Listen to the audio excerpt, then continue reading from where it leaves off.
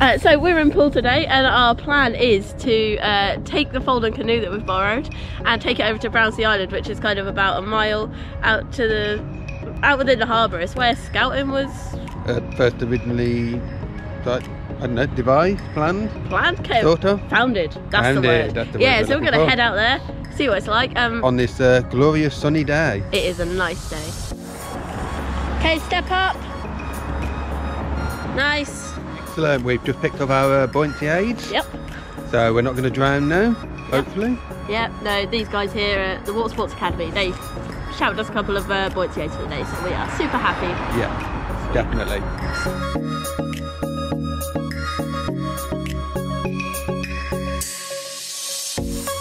We had a really good go at setting up the little folding Onak canoe, but we weren't totally happy with it. No, we wasn't um, sure it was going to be seaworthy.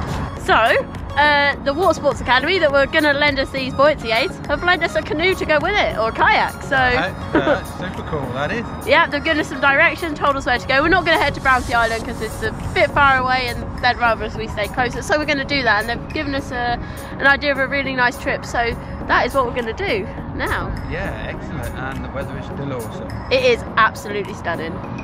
Loving it.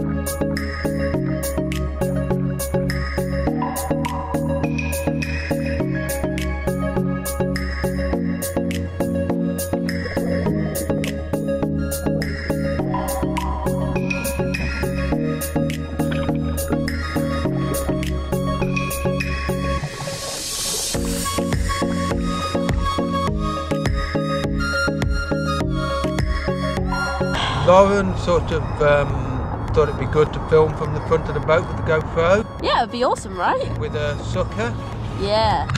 and the sucker didn't quite stick. It unstuck itself and then went into the water. without the float shot. Yeah, so uh, yeah, we just spent half an hour firstly looking for the camera, and then I had to take my trousers off, jump in, and get it out.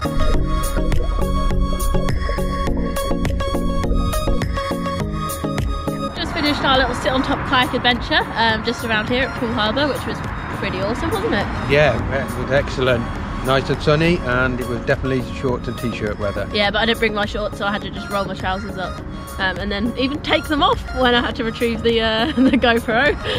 which we were fortunate enough to do. So uh, that ended well. That one did. yeah, no, but um, obviously it's been really, really awesome, and the guys at uh, the Watersports Academy really saved the day for us, really, because you know we didn't feel totally happy with the folding canoe. So um, yeah, big, big thanks to them lending us the, the equipment. Yeah. So if you're ever in the the area, just pop your head in and uh, go and check them out. Yeah, because they're so friendly as well, and they do coffee and, and other things too. So you know, just say hello.